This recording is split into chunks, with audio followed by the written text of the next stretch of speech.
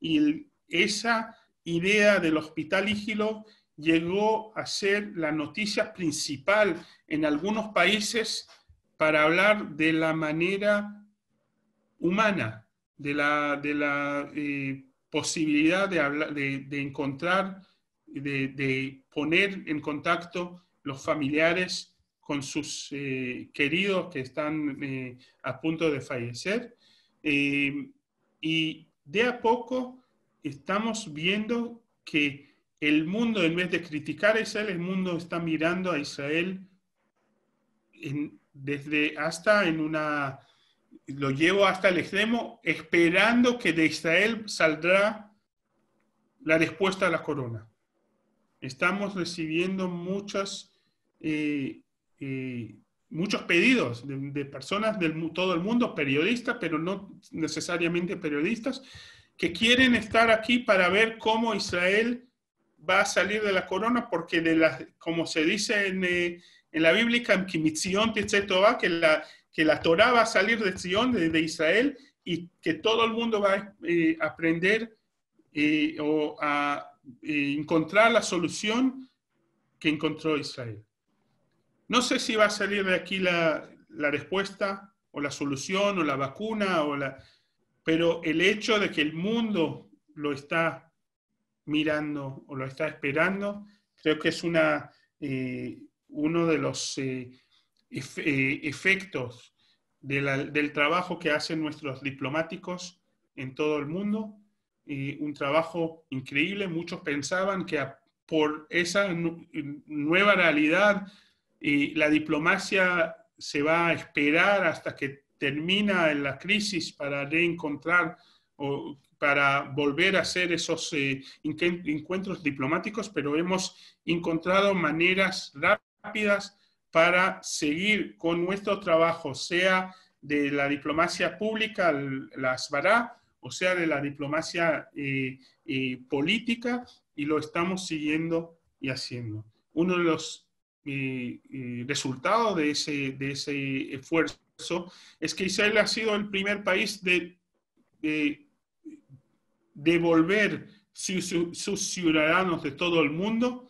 Hemos devolvido más de 10.000 eh, eh, eh, turistas israelíes que estaban paseando por todo el mundo, muchos de ellos mochileros en América Latina, en, formas increíbles. Por primera vez que un avión de El Al llegó hasta Perú, hasta Colombia, hasta Costa Rica y en el otro lado del mundo hasta Australia. Todos esos vuelos fueron eh, basados en los contactos que crearon los diplomáticos israelíes con los gobiernos locales para dejar que el vuelo llegue y que los israelíes que están en ese país vuelvan. En otro efecto que estamos viendo, que muchos israelíes que ya no son ciudadanos de Israel o que no viven en Israel, decidieron que el lugar más seguro en el, en el mundo es Israel y volvieron a casa, volvieron a, Israel para pasar los tiempos de eh, corona eh, aquí. Y hablo de israelíes que viven en los Estados Unidos, en Canadá, en América Latina y en Europa que decían que el mejor lugar para, o el lugar más seguro para pasar los tiempos de corona es aquí por eh, las, los esfuerzos que hace el gobierno israelí en, ese, en esos tiempos.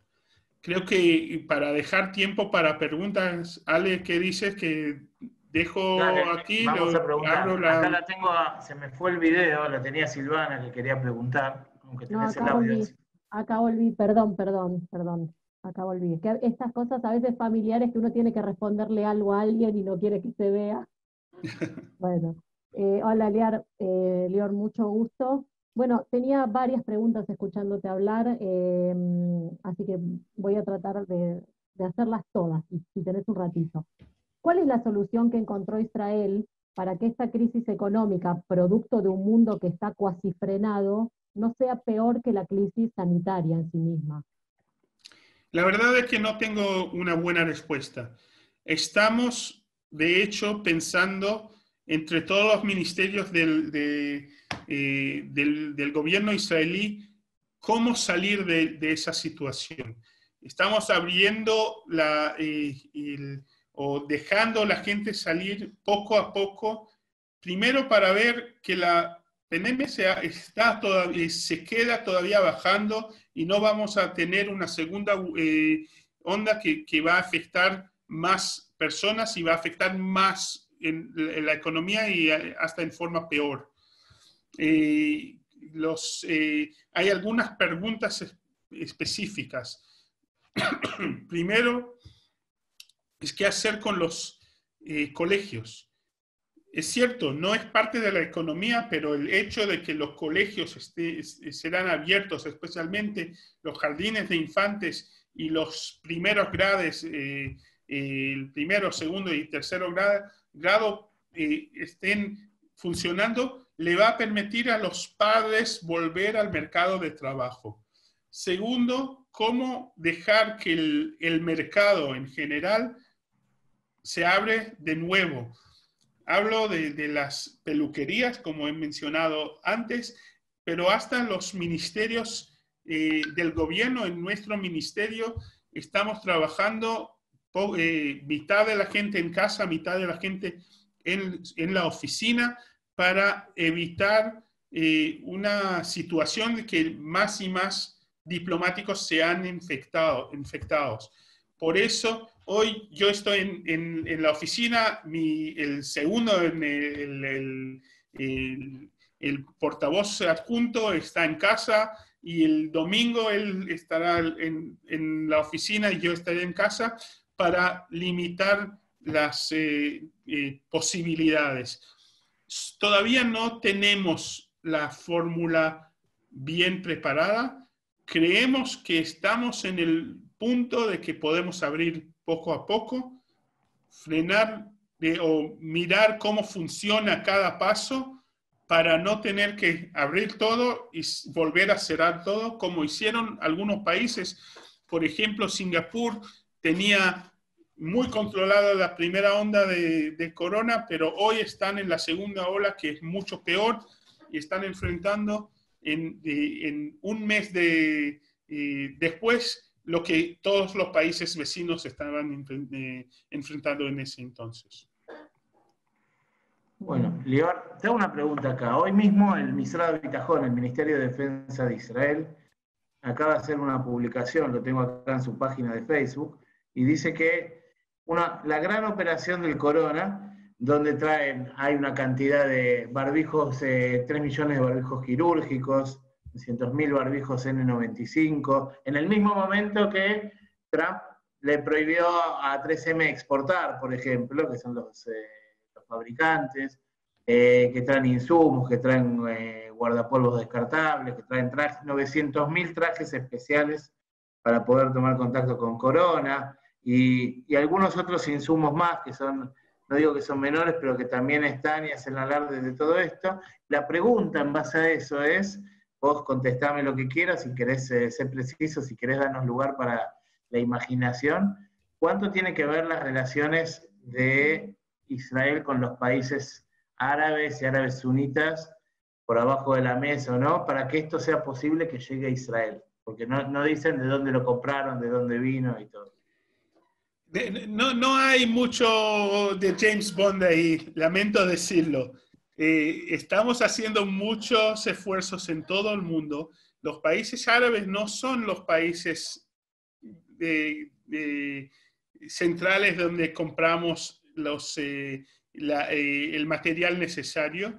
los países principales son países europeos, países de, de Asia, básicamente China hoy es el, eh, nuestro socio número uno en eso, y, y, hasta países de América Latina. El hecho que no publicamos el nombre del país tiene dos razones. Primero, es porque ellos nos piden no publicarlo, porque muchas veces recibimos el material en forma especial, no, eh, no es el mercado libre donde uno puede venir y comprar las máscaras necesarias o los guardapolvos o hasta las vacunas, no las vacunas, las medicinas necesarias. La segunda cosa es que muchas veces eh, hay muchos países que están eh, buscando la misma cosa y en el mismo mercado. Y si publicamos donde lo compramos, todos los países vayan a ese lugar para comprarlo también y el precio va a aumentar. Por eso nosotros encontramos, y, en eso también tiene un rol muy importante los diplomáticos, encontramos eh, la, empresa o el producto que necesita Israel y hasta mandamos el avión especial para traerlo. Voy a dar un ejemplo muy especial, que hay una, eh, una medicina que se hace en Chipre, que es una medicina para la malaria, pero aparentemente tiene un buen efecto para algunos eh, pacientes de la corona. Y Chipre decidió que por, por las necesidades de ellos propios no van a vender esa, esos productos a ningún país del mundo.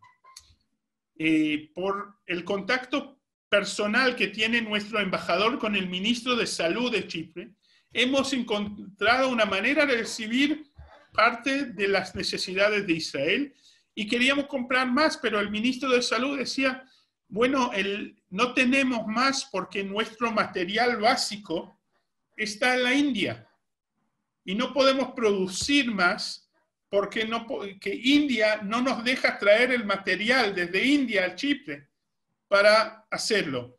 Entonces, nuestro embajador en India habló con el gobierno indio para dejar que el material salga de India. Mandamos un avión de la Fuerza Aérea Israelí que llevó el material desde India, no a Israel, sino a Chipre, a esa empresa, y esa empresa va a eh, trabajar para hacer todas las necesidades de Israel a través de ese material.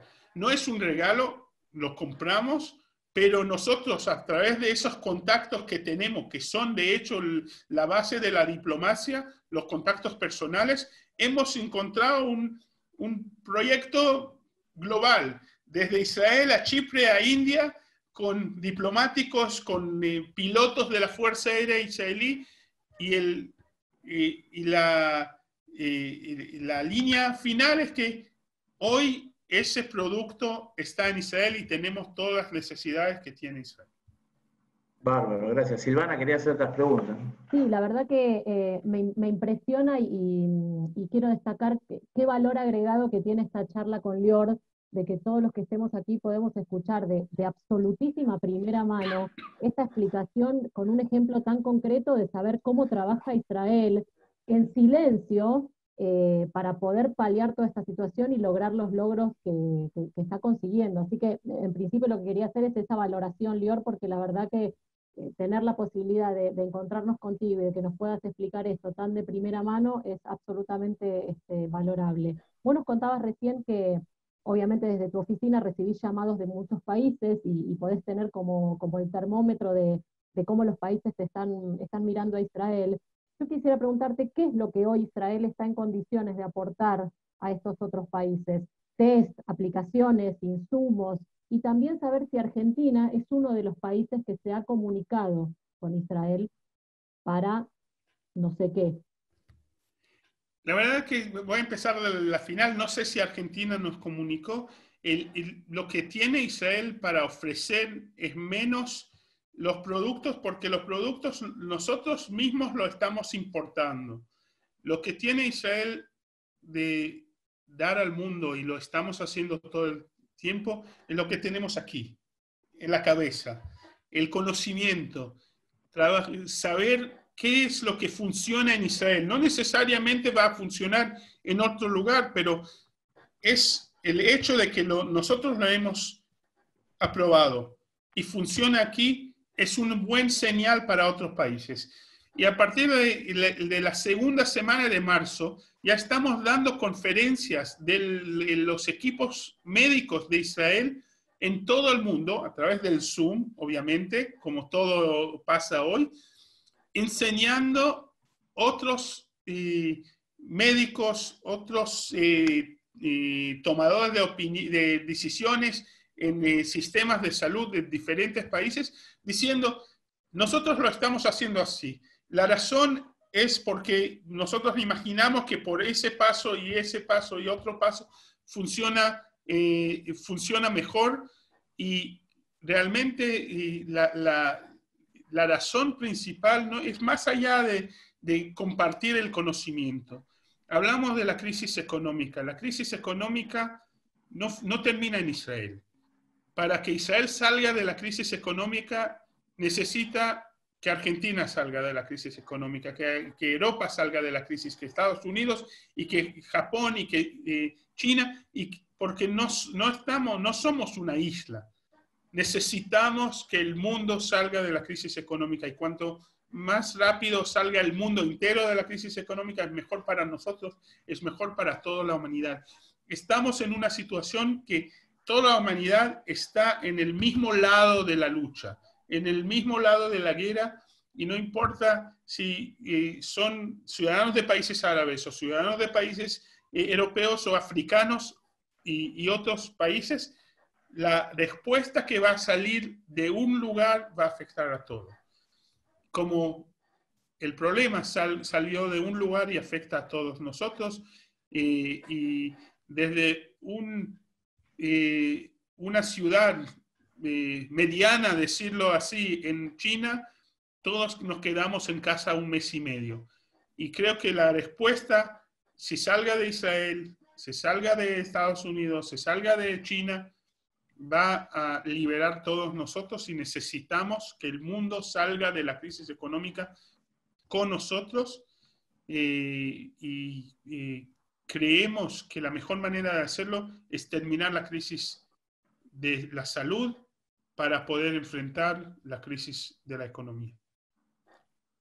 Y en relación a la situación política que vive Israel, ¿no? que uno cuando lo ve, cuando lo ve de afuera a través de los medios piensa que cualquier otro país con un poquito menos de organización en, esa, en, esa, en ese mundo político convulsionado que están viviendo, con cuatro elecciones, con la, la dificultad para formar gobierno, ¿cómo, cómo ese combo? Tres, elecciones todavía, no sabemos si, son cuatro.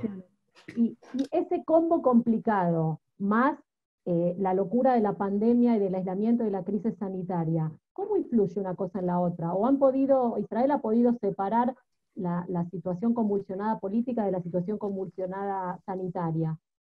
Bueno, le, cuento que cuando estuve en, el, eh, en Miami, eh, antes de la segunda vuelta de, de elecciones, y cuando me preguntaban por qué vamos a la segunda vuelta, yo decía que los israelíes somos adictos a la democracia y necesitamos dos dosis de democracia cada año como somos adictos. Eh, y estamos eh, a punto de estar en sobredosis de democracia y creo que eh, tres es demasiado. por otro lado, tenemos que también ver el, lado bueno de eso. Hay la mayoría de los ciudadanos del mundo no tenía la opción de votar ni una sola vez en su vida en elecciones democráticas. Así que el hecho que tenemos elecciones, bastante elecciones democráticas en Israel, no necesariamente es lo peor. Podría ser mucho peor si no lo teníamos. Obviamente que influye la situación o la realidad de la corona al gobierno. Creo que nos ayudó a forzar los dos partidos eh, grandes a sentar juntos eh, y a traer o a entender que estamos en una crisis. Esa crisis no es solamente una crisis de eh, política, es una crisis de, la, de toda la sociedad y necesitamos todos los esfuerzos eh, o juntar los esfuerzos para salir de esa crisis. Y por eso estamos a punto de eh, crear un nuevo gobierno, es un gobierno de emergencia, así lo llaman, es un gobierno de unidad nacional eh, y espero que esa unidad nacional nos va a ayudar en los próximos pasos para salir bien de esa crisis. si algo bien salió de la crisis de, de la corona es que podíamos eh, llegar a ese, esa situación donde eh, los dos lados de la política israelí pueden sentar juntos entender que el pueblo quiere unidad y quiere un gobierno después de más de un año que estamos en, desde una elección a otra, necesitamos un poco de situación estable. Vos sabés, Lior, que en Argentina, vos que estuviste tanto tiempo, hay una frase que dice, no los une el amor, sino el espanto. No sé si es, cierto. amor no existe en la política y más que nada en la política israelí, eh, pero la necesidad eh, y la responsabilidad, creo que es la palabra más importante, que los líderes entendieron que sus responsabilidades son para el pueblo y para salir de esa crisis. Y tengo tiempo para una última pregunta. Perdona que tengo que correr, pero... Bueno, eh, Ale, ¿querés que vamos con una última? Eh, no sé si hay algo en el chat, si no, yo tengo una última pregunta. Como vos digas. Muchos saludos, saludos, saludos, agradecimientos. Una pregunta, ¿qué les pasó hoy?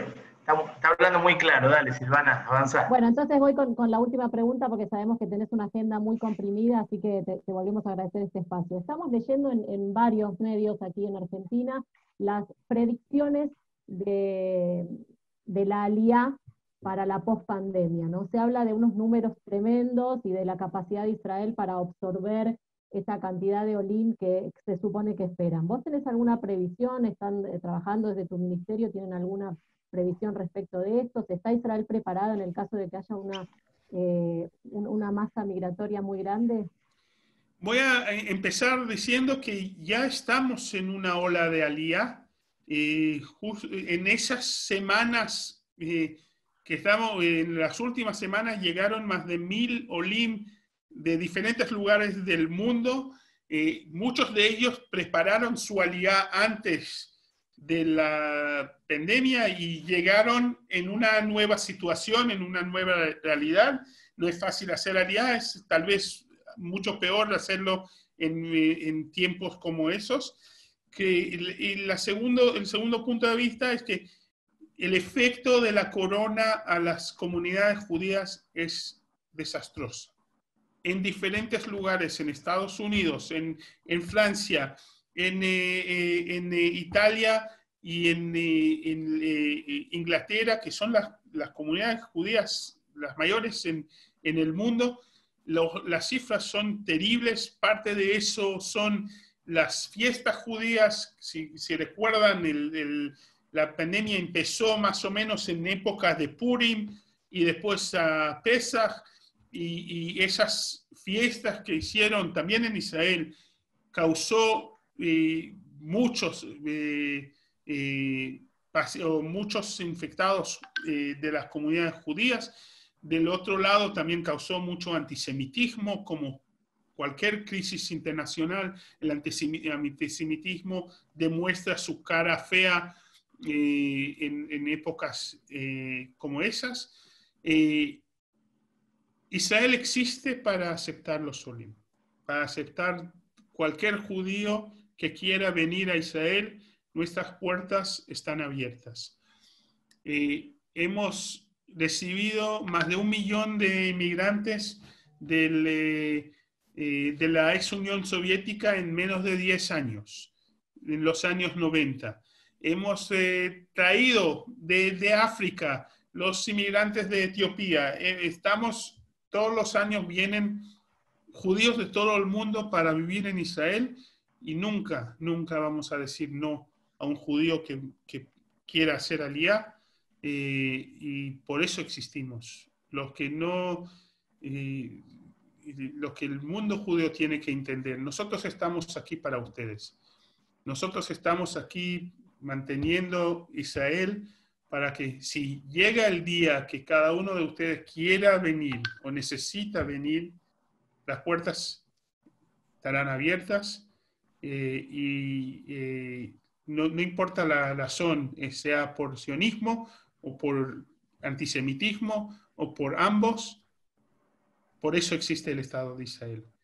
Y vamos a aceptar cualquier judío que venga, que, sea, que quiere ser parte de ese proyecto increíble, de ese milagro histórico que es la creación del Estado de Israel o la existencia del Estado de Israel, eh, y nunca vamos a decir no a, un judío que quiera venir. Y con eso, Ale y... Te quiero agradecer la, la excelente predisposición como siempre. Y te cuento que está en línea y quiere saludarte, quiere saludar a todos, el representante para América Latina de la Organización Sionista Mundial, que es Shraga Vilk, y, tenemos que liberarlo, quiere saludar, así que Shraga, ¿me escuchás?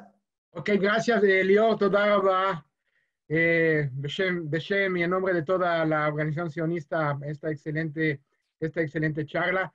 Las palabras con las que culminaste eh, que nos hacen cuál es la verdadera razón del existir del Estado de Israel para el pueblo de Israel en toda, en toda la diáspora, lo resumiste de una manera excelente.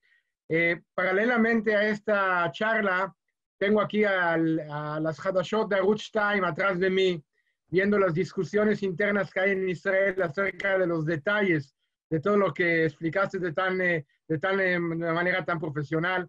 Y la, quiero em, enfatizar la excelente labor de los diplomáticos y del ministerio, y de, o sea que hacia el mundo, eh, a pesar de todas esas discusiones internas, que el que las escucha acá parece que estamos en un, como dicen en Argentina, en un quilombo bárbaro, pero hacia afuera somos una, un orla, goim y, y de ver que todos quieren, creen que nosotros vamos a traer la solución o quieren imitarnos. Si seguimos eh, yo personalmente sigo el, los, eh, todo la informática que están dando en Argentina, info, en, en, todas las eh, redes, y vemos que citan a Israel casi todos los días, en casi todos los medios, como ejemplo, cómo hay que seguir y hacerlo. Y esa es una gran labor de ustedes del ministerio y de los diplomáticos en todo el mundo.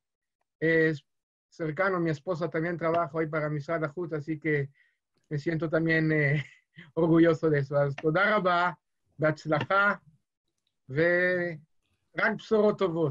Muchas gracias. Eh, a todos. La única cosa que tiene que todavía la tecnología falta es poder mandar un alfajor de Habana, alfajor de Habana a través del Zoom. Cuando encontramos esa solución, creo que podemos vivir en ese, así siempre.